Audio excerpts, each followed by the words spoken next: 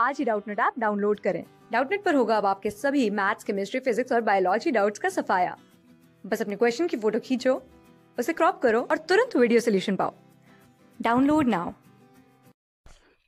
इस क्वेश्चन में हमसे पूछा गया है कि what is hydroelectric power plant and give advantages of hydel power plants over thermal power plants and other plants तो अब हम सबसे पहले देखेंगे कि हाइड्रो इलेक्ट्रिक का मतलब क्या होता है।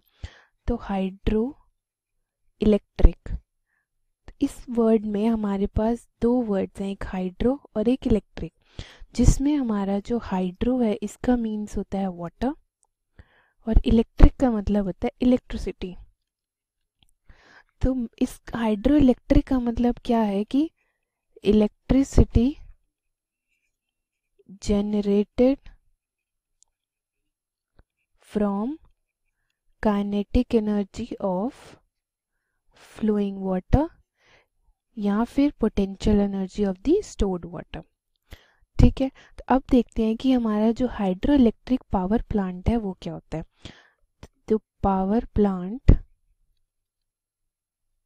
that uses the hydroelectric power, that uses hydroelectric power to generate electricity to generate electricity is called hydroelectric power plant hydroelectric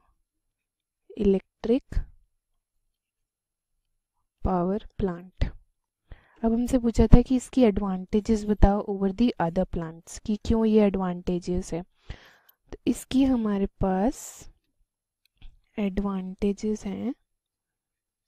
तो advantages of hydel power plant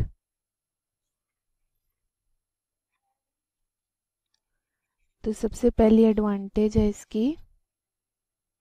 तो सबसे पहली एडवांटेज है इसकी, जिसकी इनिशियल कॉस्ट होती है। Initial cost is lower than plant hydro electric plant second इसकी एडवांटेज है कि जो ट्रांस ट्रांसमिशन और transmission transmission and distribution cost होती है। डिस्ट्रीब्यूशन कॉस्ट जो होती है, वो लो होती है। इन लोकेटेड एरियाज़ मीन्स जो पास में एरियाज़ होते हैं। इन located near to the sub stations means जो पावर प्लांट्स के पास वाले एरियाज़ होते हैं, वहाँ पे जो ट्रांसमिशन और डिस्ट्रीब्यूशन कॉस्ट होती है, वो लो होती है। थर्ड एडवांटेज है कि जो फ्यूल होता है fuel for thermal plants is reserved is reserved for another some decades, for another some decades, क्योंकि जो हमारे फ्यूल्स होते हैं वो हमारे नेचुरल प्रोसेस से बने थे प्री हिस्टोरिक रीजन में। अब अगर वो एक बार ख़त्म हो गए तो दोबारा रीजनरेट नहीं हो पाएँगे। तो इसलिए हमने उनको रिज़र्व करके रखा हुआ है। लेकिन जो हमारा हाइड्रो पावर प्लांट है, whereas हाइड्रो प्लांट जो है हमारा डिपेंड करता है रेन पे तो इसलिए ये एडवांटेजेस है।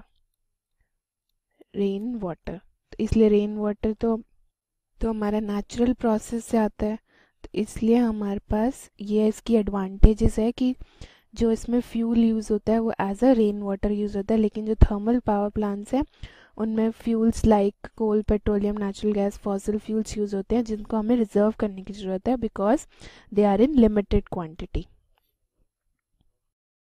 class six से ट्वेल्थ से लेके NEET I I T JEE mains और एडवांस के लेवल तक। दस मिलियन से ज़्यादा स्टूडेंट्स का भरोसा। आज ही डाउनलोड करें डाउट नेट ऐप या व्हाट्सएप कीजिए अपने डाउट्स आठ चार सौ चार सौ चार सौ पर।